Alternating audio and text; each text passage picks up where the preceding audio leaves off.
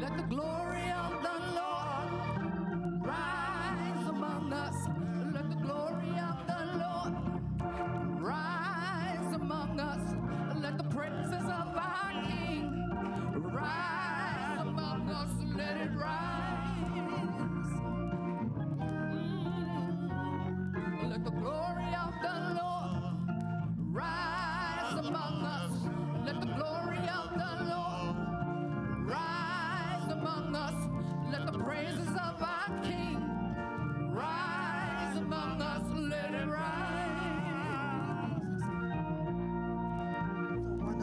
to be in the house of the Lord this morning. How many claim to bless his name this morning? How many came in to worship him this morning? Oh, come on, let's worship the name of the Lord this morning. He is worthy to be praised this morning. Thank God this morning for his goodness. Thank God for his mercy this morning. He is the one that woke us up this morning and starting us on our way this morning. Give God a hallelujah this morning in this place. Somebody didn't wake up this morning. Somebody laying in the hospital this morning. Somebody on the street this morning. But look at God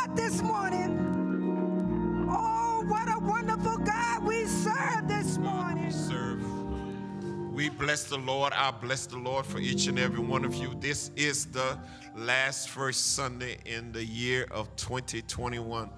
My have time going fast. Where did it go? It is moving fast. Time, I don't know, I don't know how many of y'all feel that way, but I do. And it's a reason that God is moving time fast because he wished that less of us, less of us, be lost and spend eternity in hell. So he said, it says somewhere in the Bible that he would speed up time, and that he is doing right now. Amen. We thank God for this communion Sunday. Minister and I made 40, it was 46 years ago that my first roommate at Grambling introduced me to two young ladies, and she was one of them. And I'll never forget the first date. I said, Can I, can I come back tomorrow night? And she said, Yes. and I think for the next three years, I would see her every night after that. and now it's been 44 years. 44 years. That's that's wonderful. That's wonderful. That, I thank God for my wife. I love her. I love her so much. She, she's been so good. She's been such a good, good wife, a good friend, and a good woman to me, and a good mother to my children, and grandmother too. Amen. Lord, I'm trusting. Lord, I'm trusting. Lord, I'm trusting. Lord, I'm trusting. I'm trusting in you, Lord. Trusting. I'm trusting in you, Lord, to see me through. The road may be rough, Lord. Lord, I'm trusting. The road may be rough, Lord. Lord, I'm trusting. I said the road may be rough. Lord,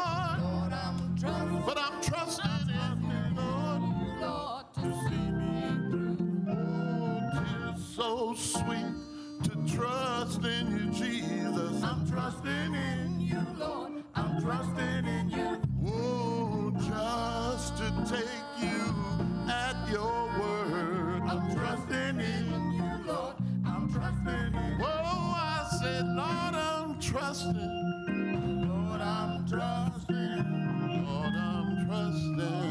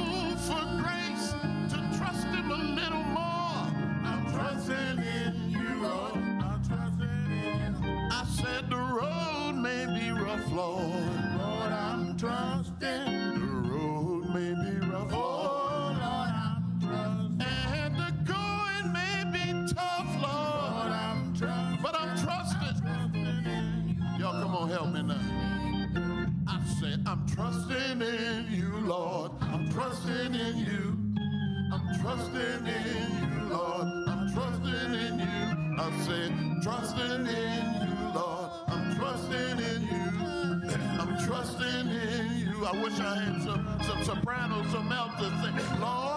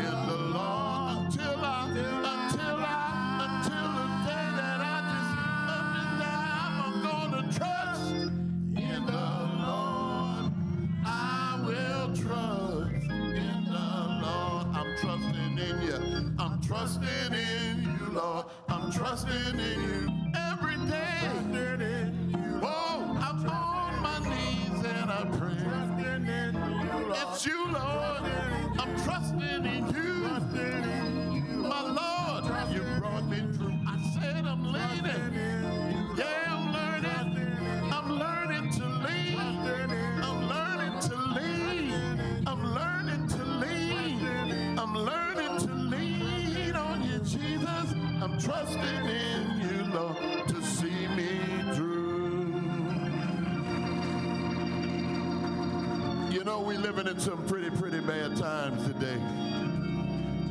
And I know I'm not the oldest in the congregation. I've just been walking around this earth for 68 years. But I've never seen it this bad. You can't walk out your house. You can't go to church. You can't go to a parade. They're running you down. I mean, it's bad.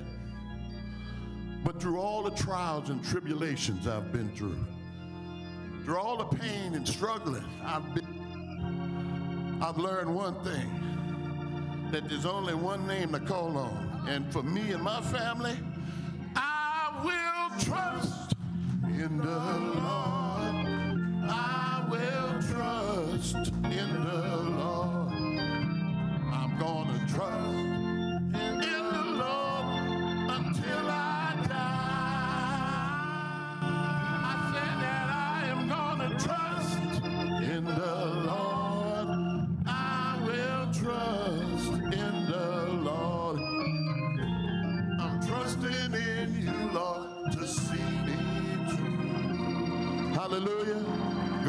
you.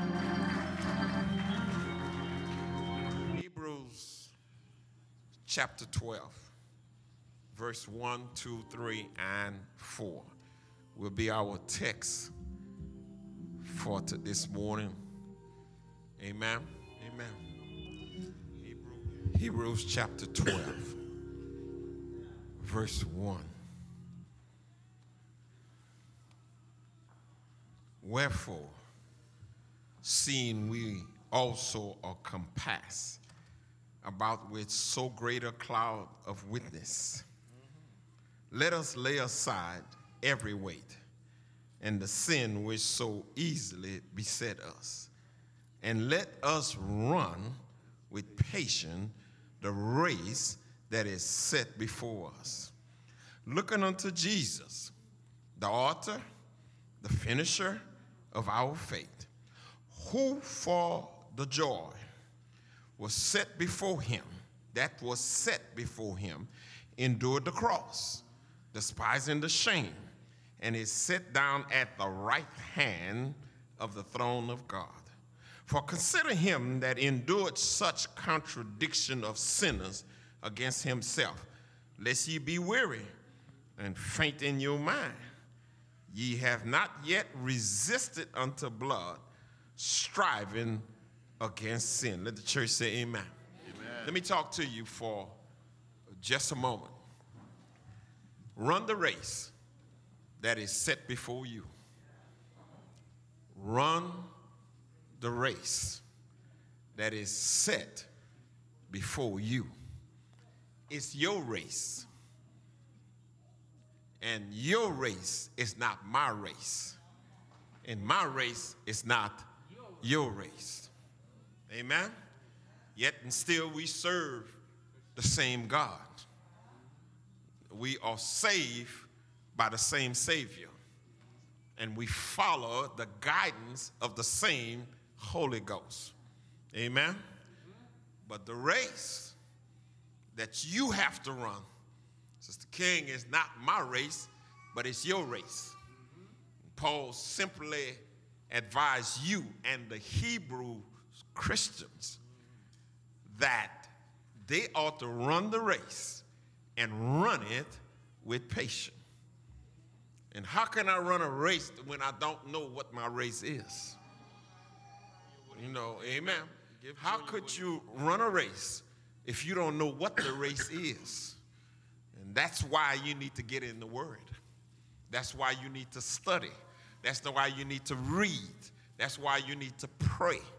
So God can talk to you. Matter of fact, when I talk about the different races, your race might be easier than mine, or mine may be easier than yours. Or either I got to run faster than you in order to get to where I'm going. But no matter what, we still going all to, to the same place. Paul is just simply telling us run the race.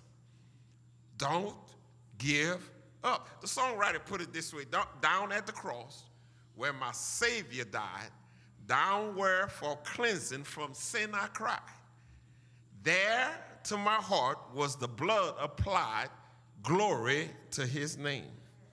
He says something else. I'm so wonderfully saved from my sin. Jesus so sweetly abides within.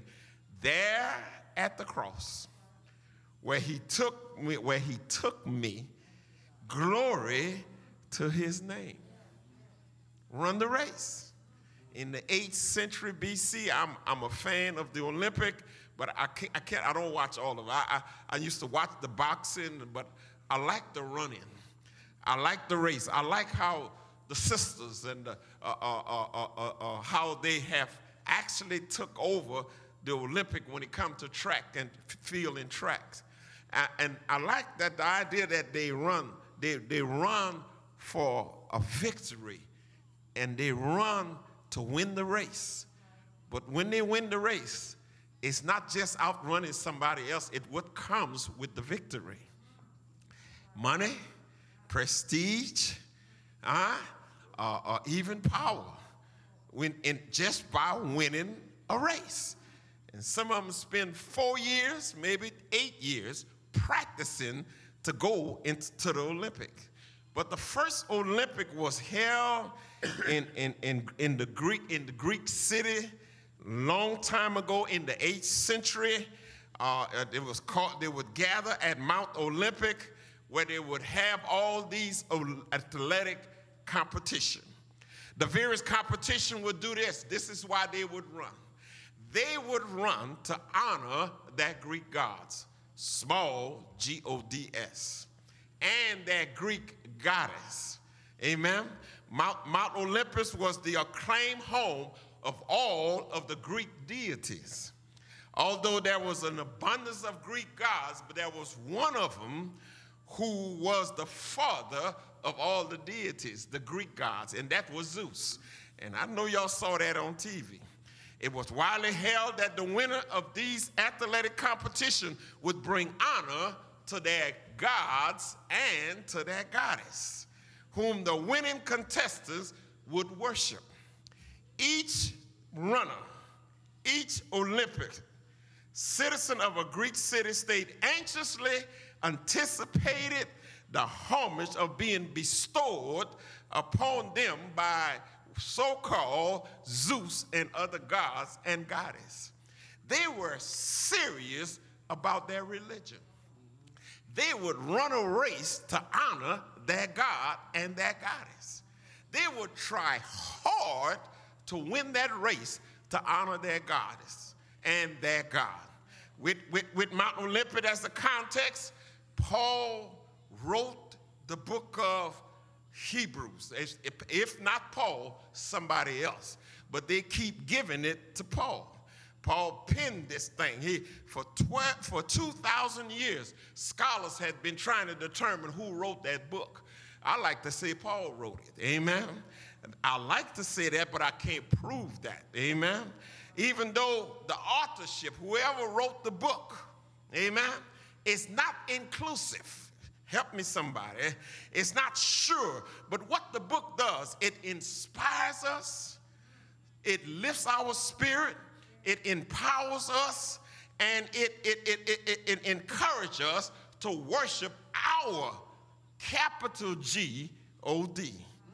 Using, using the metaphor. Paul used the metaphor of athletes and the ancient Olympus. The, the Hebrew writers teaches us that we are not battling or competing in isolation. We are not doing it by ourselves. Why we are not doing it by ourselves? Because there is a grandstand. Help me, somebody. While you are running your race, when you become, get discouraged, this is what the whole point of the sermon is that you don't get discouraged. When you start to get discouraged, you need to look in the grandstand. And in the grandstand, Paul, I mean, sorry, Hebrew writer says this there is a great cloud of witnesses. Amen. Someone that have already went before you. Uh, help me somebody. He even he even said something about he named one of the prophets. He said he was a man just like you. He said, and he called that it wouldn't rain for three years, and, and, and it did not rain. Three years, three months, it did not rain. And when he asked God again for it to rain, it rained. People of God, catch the point that if he could do it, you can do it. Somebody help me here? I mean, if he believed, if he prayed and believed and God answered his prayer, what about you? So when you get discouraged, help me, y'all. When you get discouraged with your children, help me, Lord. Look for Hannah. Help me, Lord, because she is a witness that's sitting in the grandstand. Can, can, I, can I help you? Let, let, let, let me get let me get this way. Can I help you when you are running the race? and you feel like quitting. Lord have mercy. Can't you hear the Apostle Paul standing up in the stand telling you to keep on keeping on? Somebody go help me here. Greater things that God got for you. Baby, hang on in there. because what you going through down here is not, it cannot be compared for what God have for you on the other side. Somebody help me here. In other words, he's telling you, keep on running. Mm.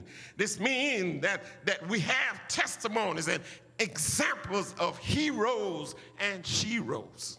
Somebody help me here. Heroes and sheroes of faith in God. Ain't God all right? Somebody go help me. Here. If I could bring Mary Magdalene in the picture, she would tell you, help me somebody, he cast seven demons out of me. Hallelujah, somebody. You ought to use your imagination, y'all. Can I get you back in the house? Seven demons on the inside. Ain't God all right? It's enough dealing with one demon, but when you got to deal with seven demons, somebody gonna help me here. She gonna say he cast out seven demons. Ain't God all right? And he took out that heart of demons and put in a heart of gratefulness. Ain't God all right? Mary Magdalene said, I don't mind worshiping him. I don't mind giving him glory. I don't mind praising God because he been good to me. Come here, Mary. Ain't God all right? God chose me among all women. Ain't God all right? Somebody gonna help me here. He chose me to be the mother of his son, the savior of the world. Ain't God all right? Come here, Elizabeth. God chose me to be the mother of the forerunner of the savior of the world. Ain't God all right? Somebody gonna help me here. Come here. Ain't God all right? What about that captain? Help me, Holy Ghost. I heard the word. He showed me a vision. How many of us up in here that God have shown you a vision that came true? Help me, somebody. He said he showed me a vision to call a man. And when the man came, he showed that man the same vision. God working mysterious ways. His wonders is to be performed. Ain't God all right?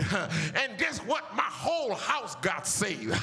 Hallelujah, somebody. How many of us, when we get saved, that don't don't want our whole house saved?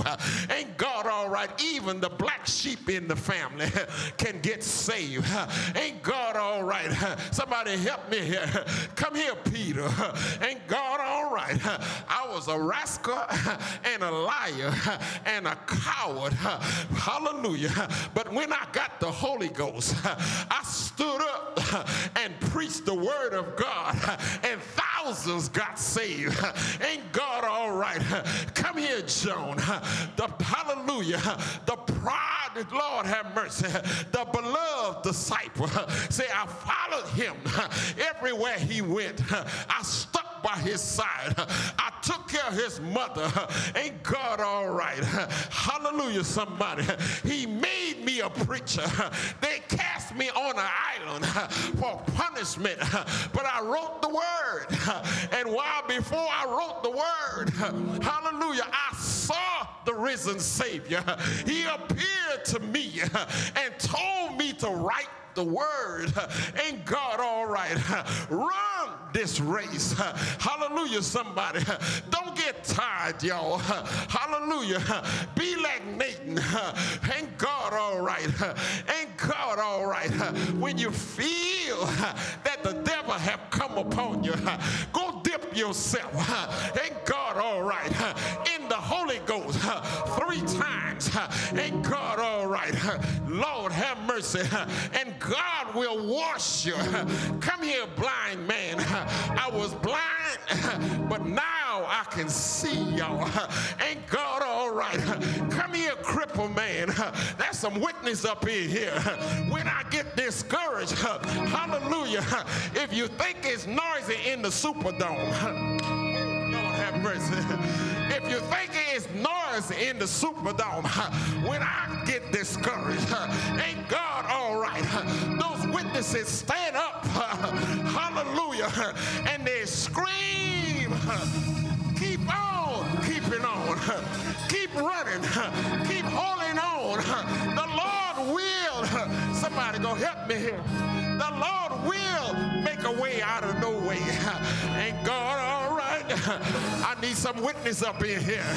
I need three people who's going to tell me, Pastor, I was about to give up. I was about to throw in the towel, but I heard, I heard, ain't God all right? My dad, mama in the grandstand. The grandstand. My late pastor is in the grandstand saying, hold on, keep on keeping on. Run this race. Ain't God all right? I say, run this race. Somebody help me here. So I went to him just as I am. Hallelujah, somebody. I went to the cross. Hallelujah, somebody. I thought the race was over, but it wasn't over. I left the cross feeling good, but the race wasn't over. I preached the word, but the race is not over. Pastor, but the race is not over. Laid hands on people, but the race is not over. Ain't God all right? The race is not over. Pray for people. Pray for people and pray for people, but the race is not over. Ain't God all right? He died. Didn't he was buried. Ain't God all right? It was early Sunday morning.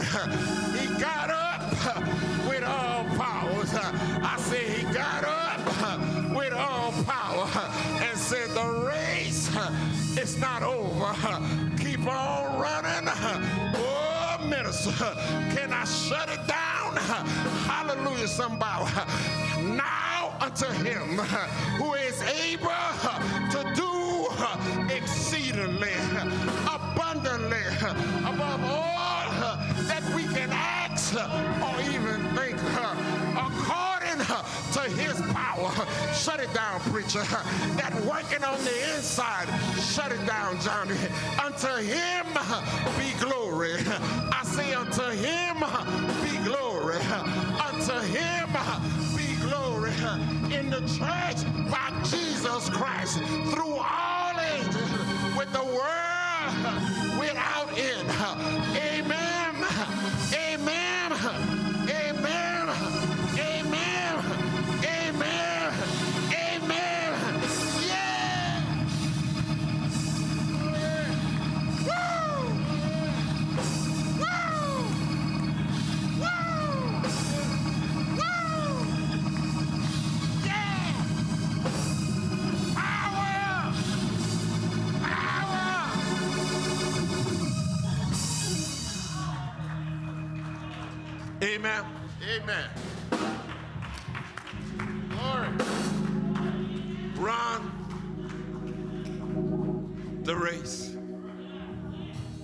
Has been set before you.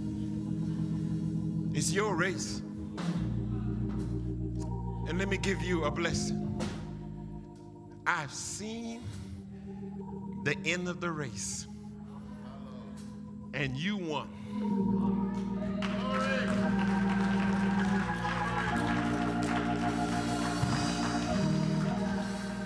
Matter of fact, see you at the end of the race, and you look better than you looked than when you, before you came through the race. And I look behind you, and the devil is in the dust. Your troubles is in the dust. Your heartaches and your sickness is all in the dust. You are now more than conquerors. You are more than conquerors. So I encourage you to keep on running, to keep on keeping on this morning.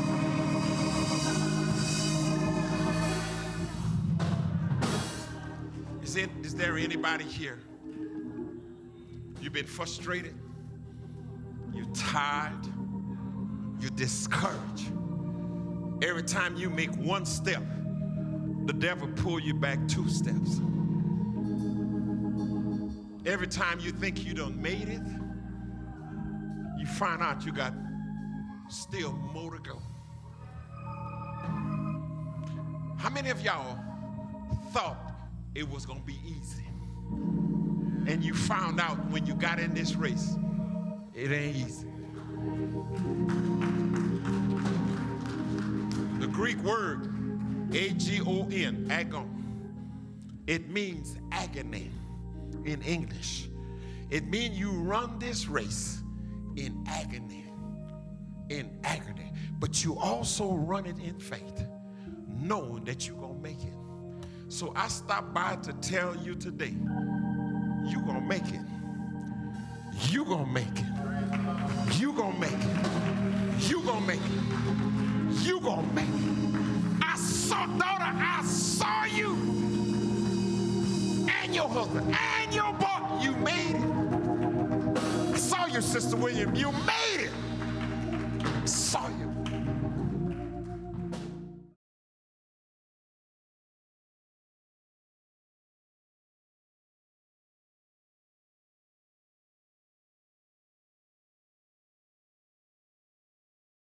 Those of you who have our faith in order, we invite you to share with us as we commemorate the death, the burial, and the resurrection of Jesus Christ.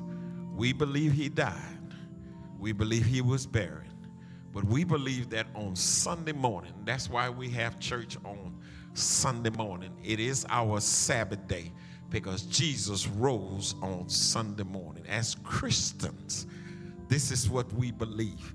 And as the Christians in the Law Street Baptist Church, every first Sunday, we recognize the communion service.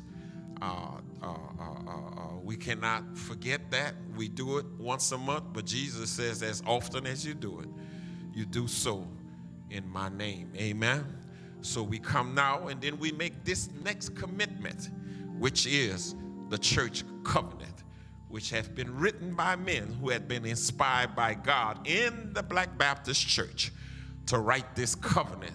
And we make this commitment. Amen. Having been led, as we believe, by the Spirit of God to receive the Lord Jesus Christ as our Savior, church.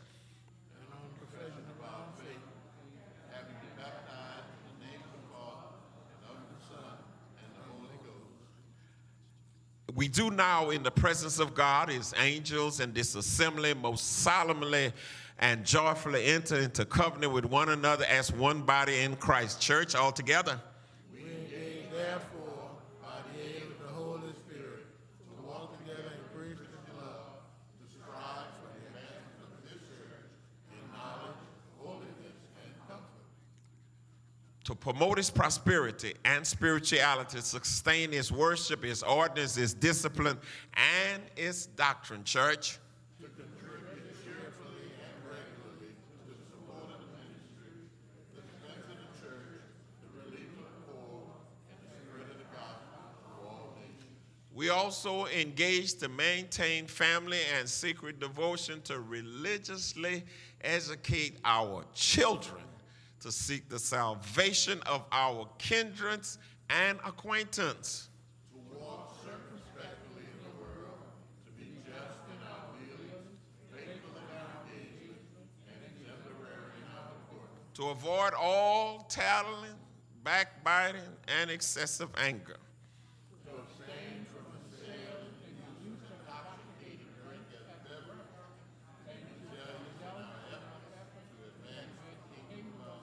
To further engage, to watch over one another in brotherly love.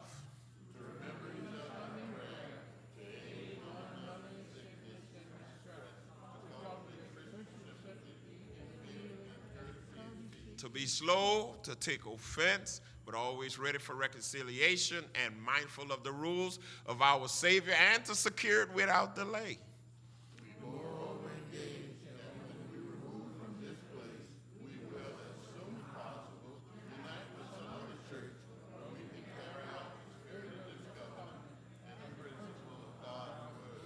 And now unto him who brought again from the dead our Lord Jesus be power and glory forever. Amen. Amen. Now, as they were eating, Jesus took bread and he broke it and he blessed, it. And he said, Eat, for this is my body. Shall we eat? And then he took the cup of the fruit of the vine. Amen. Amen. He said, Drink ye all of it, for this is my blood of the New Testament, and I will not do this again with you until in my Father's kingdom. Shall we drink? And I know what Jesus said. This is what Pastor says. Put your mask on, back on, and then go out into the Mount of Olives. Amen.